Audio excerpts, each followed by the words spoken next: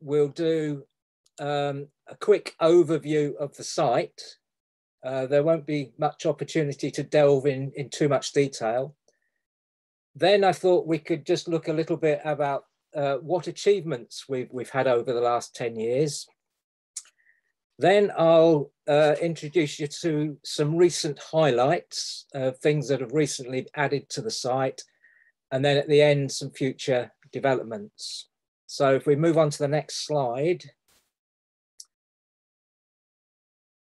So My Primitive Methodists is one of five community archive websites within the Methodist Heritage portfolio. So there's My Methodist History, My Wesleyan Methodists, My United Methodists, Wesley's Oxford, and uh, My Primitive Methodists. It started off as My Primitive Methodist Ancestors, and the vision was to have a one-stop shop for everything to do with primitive Methodism. And we started in 2012. Now it's it's interesting how things happen uh, with time. My involvement resulted from a conversation between Jill Barber and my wife after a service that my wife attended. I must have been off preaching somewhere.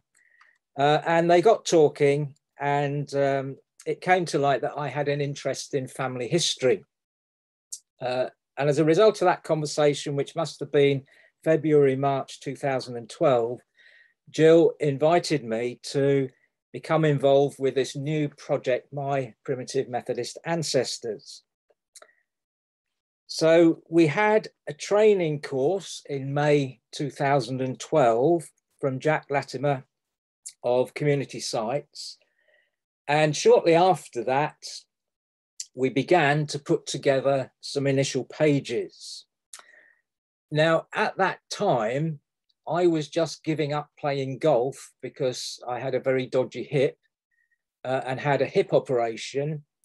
So I was convalescing, watching Wimbledon, uh, the London Olympics, and sat there with Leary and some pictures that Jill had provided from some of the pictures of ministers from the um, in the museum, starting to put together pages matching pictures of ministers with um, their stations in Leary.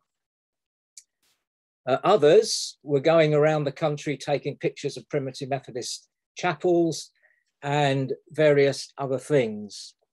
And we cobbled together something like 50 to 60 pages by September 2012, and My Primitive Methodists went live. The name changed in 2018 to My Primitive Methodists when the software base was changed to WordPress. So if we now move on to the next slide, which is a screenshot, hopefully, of the six main sections of the site. So we'll go through each one um, in turn. Uh, people is one that I've been primarily involved with, and others have, have, have chipped in with uh, other sections. So if we move on to look at people, um, we've split people down into lay people, primitive Methodist ministers, and then a series of submissions about family history. There's also uh, a series of keywords. Where possible, I've attached keywords like Sunday school worker, um, uh, guardian, meaning guardian of the poor, or counsellor, which means that we can, if you click on those uh, keywords, you can pull up all the different entries associated with that. So if we move on to the next slide, I've shown one of our ministers, Edwin Dalton, who was a very distinguished primitive Methodist, uh, became president of conference. And I've shown this really to, to demonstrate what we've tried to do whilst we started off with just a picture and the entries in Leary, Uh, we then tried to put a bit of flesh around that. So for this particular minister, I mentioned a bit about his early years, uh, talked about his ministry uh, based on information from articles in the Primitive Methodist magazine. If we then move on the next slide, uh, we get down into his family. Now, this is this is the bit that really fascinates me because I'm really nosy and like to delve into people's uh, past history. So, what I've tried to do is is give information about a person's parents, who they married, if they married, and who their children were, and some indication of what occupation they had. And then for the uh, ministers, the list of circuits that we find in Leary. And then moving on to the next slide, uh, wherever possible, uh, we link all the uh, the references that we've been able to pull up about that person. And then you see at the bottom the keywords. Uh, the keywords associated with this person were they were president, and you can see uh, at the time I took this screenshot, we had 75 of our presidents of, the Primitive Methodist Conference have pages on our site. And this person was also a member of a school board uh, back in the um, later years of the 19th century. So that's what we've tried to do with people. Just some acknowledgements. Uh, we have lists of all of the people who were primitive Methodist ministers, and Philip Thornborough uh, spent a lot of time putting those lists together. We have uh, managed to create a page for all of the primitive Methodist travelling preachers that are listed in Leary as having served in the UK, and that's some 4,000 plus people. We've also got some information about missionaries, and we've got over 2,000 or 2,500 pages about ordinary lay people. So that's that's sort of the type of thing that we've got in with people. If we move on to chapels now, uh, chapels is not my specialist subject, and the website has been supported by some uh, very enthusiastic people around the community. Uh, Richard and Elaine Pierce, who put together this particular page, uh, did a lot of uh, traveling around taking pictures of primitive Methodist chapels or ex chapels. Uh, Chris Hill, who's with us, I think you came on board, Chris, when we borrowed the pictures from the Guyler collection uh, down at Oxford Brookes and Chris has put all of those up and done a lot of work on chapel openings. And if you scan through the pages, there are other names like Geoffrey Oxley, Tim Banks, and some others who have contributed information about chapels. I just put up some information on a couple of random chapels for you. This Lower Withington Primitive Methodist Chapel is an example of one uh, it's not far from Englesea Brook. It's in the neighbouring circuit, but it's been tastefully uh, converted into a dwelling. If we go to the next uh, one, right, this is Little Neston Primitive Methodist Chapel, which is uh, on the Wirral. Uh, and I put, put this in the talk purely for nostalgic reasons. Um, before moving into Nantwich, I lived in Ellesmere Port for 30 years, and I must have preached in this chapel uh, at least twice a year during those 30 years.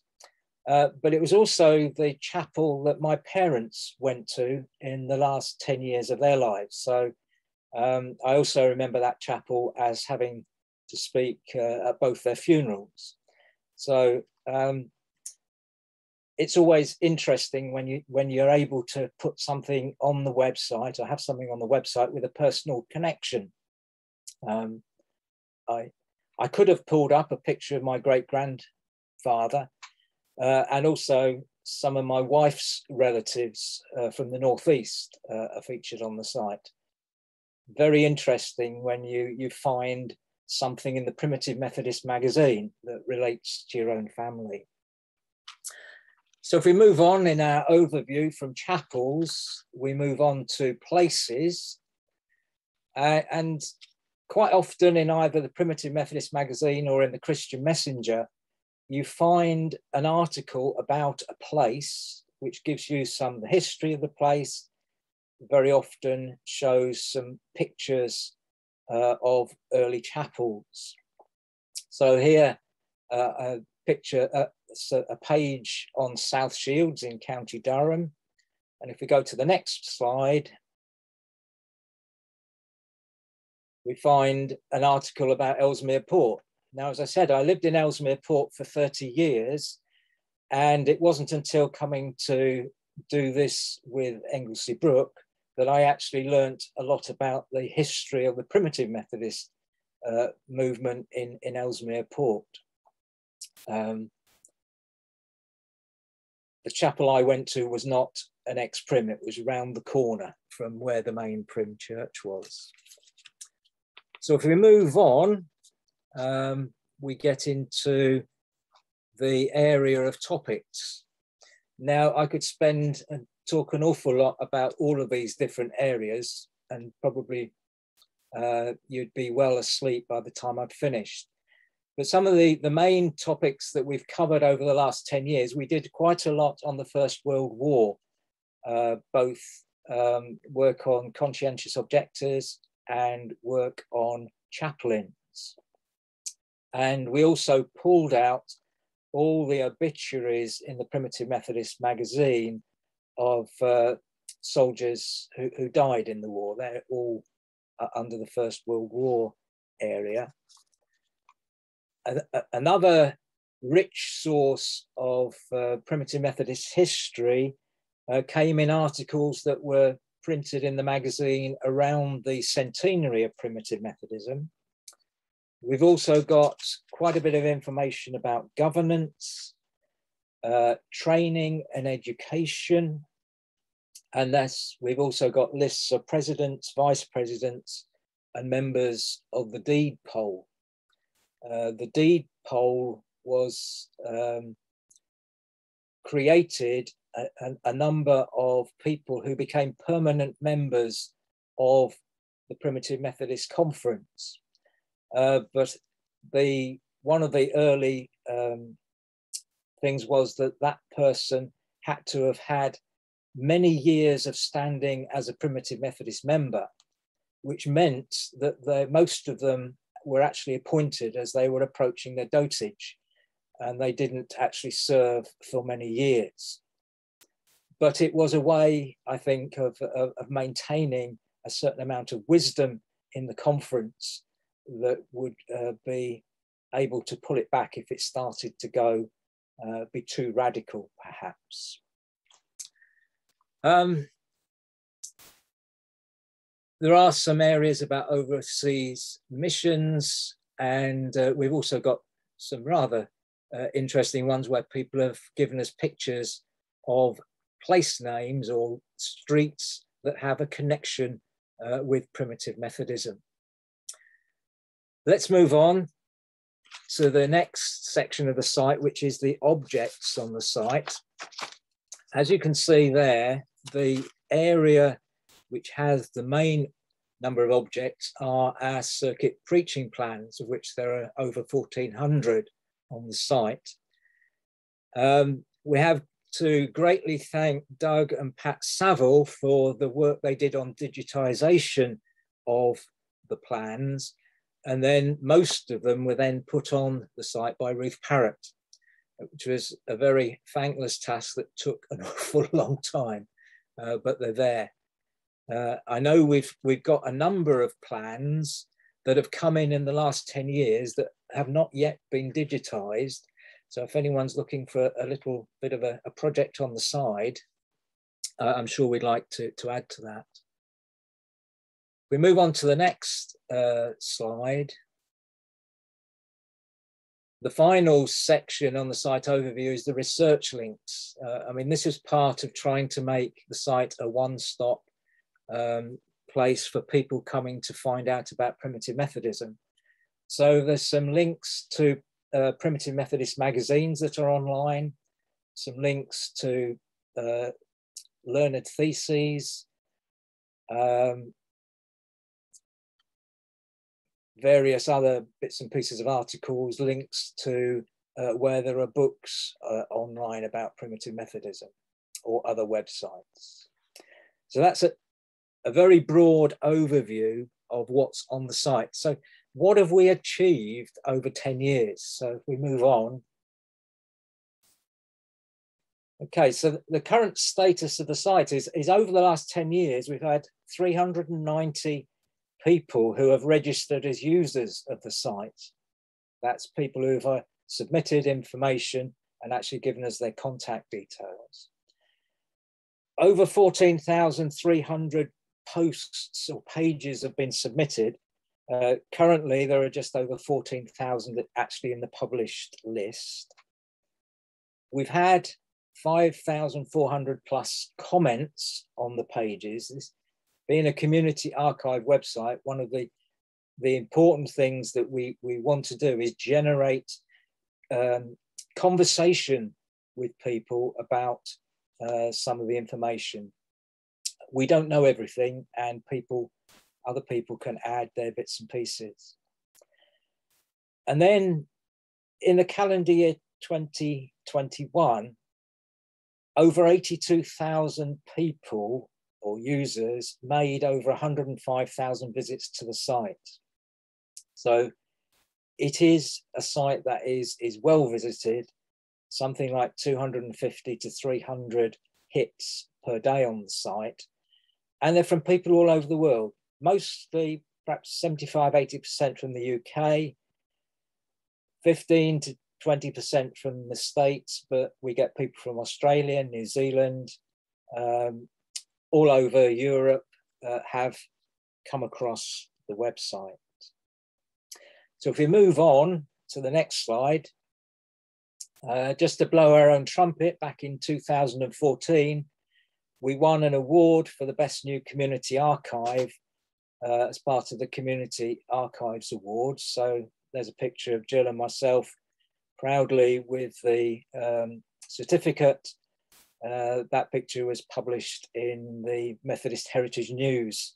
Um, uh, it was probably the autumn of 2014. So if we move on, I think one of the achievements that we have made has been about bringing people together. And to illustrate that, uh, John Phillipson, a primitive Methodist minister, uh, each year his family produced a household annual with articles written by each member of the family. These uh, journals uh, seem to have then been distributed amongst the children of the family uh, in time uh, and have gone all over the world we found one of these journals, and this is a page uh, from uh, the one in 1916, where John Phillipson himself is talking about the winter storms. This prompted, was found by other people across the world, people in Australia and South Africa, who also found that they had similar journals from different years. So up until now, I think five of these uh, fascinating notebooks have been found. But what happened is we brought together through this um, that is various descendants of the family uh, from across the world. So other um, pages have brought together people uh, who didn't particularly know each other uh, from families. So that's one of the achievements I think we've we've had as a site.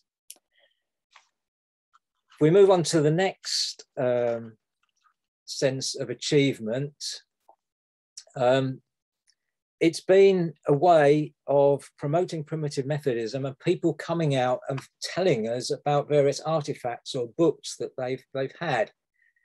Um, perhaps the most uh, exciting was uh, a contact we had from a bookseller in the States who had a handwritten journal uh, of this minister, John Davison. Now, John Davison married William Clowes' stepdaughter, and he went out to Canada in 1847. And this journal um, described uh, what happened on his journey into Canada um, and, and so on. And Randall, who's here with us, uh, picked this up and he produced a very interesting little booklet uh, about this journal. But we have been offered all sorts of things, uh, lots of trowels from uh, laying of foundation stones, etc., etc. The next sort of uh, one is, is, if you go to the next slide, what I've just written on this one is a, a couple of comments that we received on pages about people. Now, one of my main objectives uh, is, is to actually try and help family historians uh, find out about people who were involved in, in primitive Methodism and, and try and help them to find out a little bit more about what their ancestors believed. Uh, this is just two examples of comments that have been received within the last month uh, that have been added to pages about people. So um, Sarah Randalls writes about uh, William Bruff Randall. Um, William Henry Mason, who she mentions there, was a primitive Methodist uh, minister. Uh, and then uh, Alfretha, uh, the person uh, writing about Alfretha, uh, says that that was her great grandmother and she's so grateful for the information. Now that's that's quite typical of some of the comments that we get uh, about people. We also get lots of comments about chapels, um, where they were. Uh, very often, have we got the right picture? Um, someone's got a different view on, on, where the actual chapel was. As I said, we've got over 5,000 comments. So um, it is, there is a very vibrant community of people interested in, in primitive Methodism. So if we move on, uh, if we move on to some recent highlights, stuff that uh, has, has, appeared on the website within the last three months. Um, first one is Our Struggle in London. In the, in the 1913 Primitive Methodist magazine, um, the minister called William Curry uh, put in a series of 12 articles that chronicles the history of primitive Methodism in London, right from the point when Hugh Bourne and James Crawford made their initial sortie up into London in, in 1810, th through to how um, the capital was missioned, if you like, and the development of chapels right up to the mid 1870s. I found it a fascinating article with, with lots of uh, uh additional pictures of, of, some of the chapels. Um, interestingly, that was, that was laid out in a very chronological order. The following year, in the 1914 magazine, um, we have a series of articles uh, by the Reverend Mantrip on how we won East Anglia it's not so structured. It, it's a little bit um, repetitive in, in places, but there's some interesting anecdotes and some pictures of early primitive Methodist chapels in East Anglia. If we move on to the, the next slide, another uh, interesting series of articles that I've, I've, come across were written by um, Holliday Bickerstaffe Kendall, who's obviously well known for his, his two volume history of primitive Methodism. But after they the vast number of centenary articles in the period 1907 to 1910 11. Um, he started to write an article each month, one page, about what was happening in the primitive Methodist movement 100 years before. So in 1912, January 1912, he's writing about what was happening in January 1812. And as I've developed those, there's, there's uh, 1912, 1913, 1914 are on the website. I know there are 1915 and 1916 uh, ready to, uh, to be um, to be put on there in the coming months. But there's lots of interesting art anecdotes. Um, I was very interested in one in, in 18 March 1813. Hugh Bourne, James Steele, and um, Mr. McAvoy were tasked by that quarterly meeting to draft a code of rules for the regulation and discipline of the societies. So they set up a subgroup to do this. But by October, nothing much had been done. So the October quarterly meeting told them off. Get on with it. So uh, uh, Kendall records that Hugh Bourne was put on his mettle and a draft was produced for the January, uh, so that should be 1814 meeting, not 1914. Um, and, and really, that set of rules remained more or less the same up until uh, the 1819 meeting, uh, pre-meeting uh, before the first Primitive Methodist Conference. So uh, these are things that that I certainly hadn't appreciated uh, before getting involved with the, this sort of project. And if we move on to the next slide,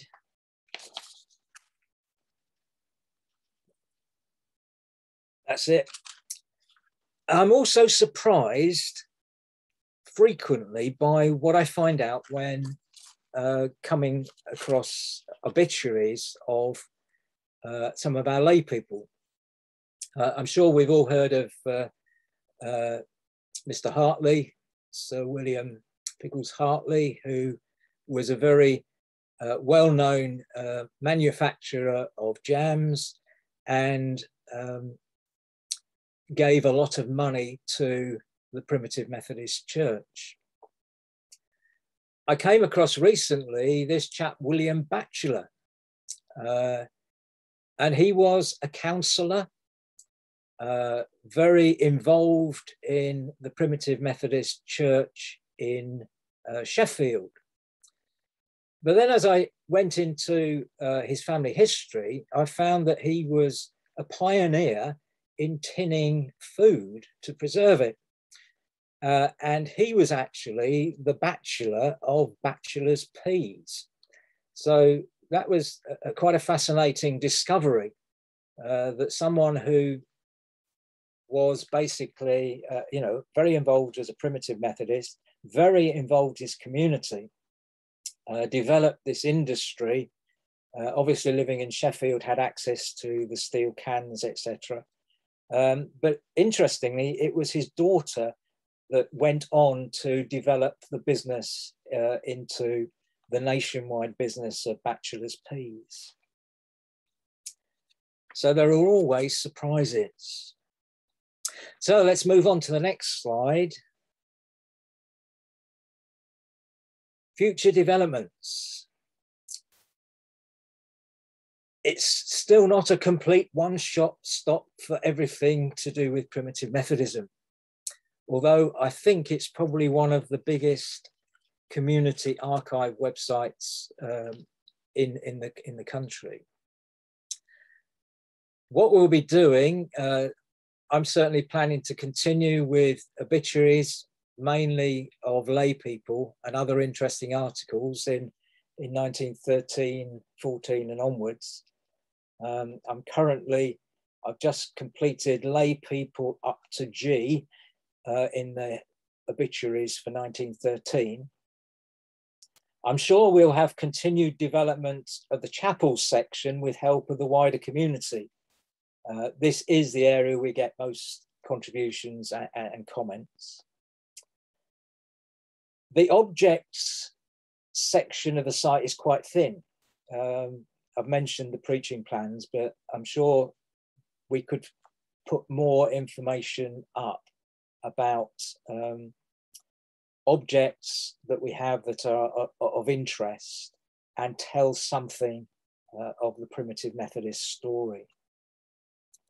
And then the last question is, you know, has anybody any suggestions of areas of, of the primitive Methodist story that we might want to, to move, um, move on uh, and add to the site uh, in the future? So I, I just throw that in uh, for, for you to think about.